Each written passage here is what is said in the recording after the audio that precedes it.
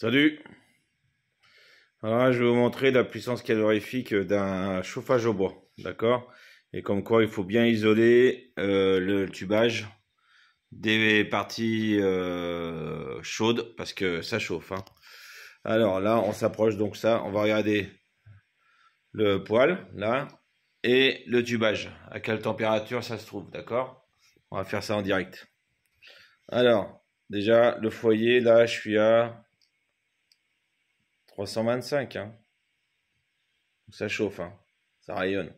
On voit bien, hein, c'est le ce Voilà.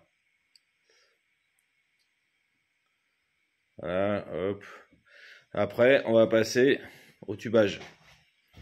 Donc quoi, faut bien isoler euh, le tubage. Alors le tubage, je suis à combien là? Donc à l'intérieur, la sortie du poêle, 120 degrés. Après, je monte, je monte, je monte, je monte, je monte. Si je me mets au milieu, je bouge pas. Difficile hein, de tout filmer. De commenter en même temps. Donc ça chauffe, ça chauffe. Et là, le tubage du haut, alors ça y est, il faut que je me mette... Alors vous voyez là, 100 degrés. Je suis là. Hein, 100 degrés. Hop.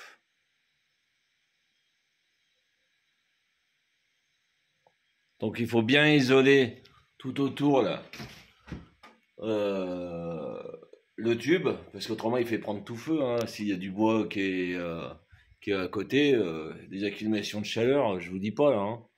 Là vous avez, ça arrive souvent hein, les, les trucs mal construits. Voilà.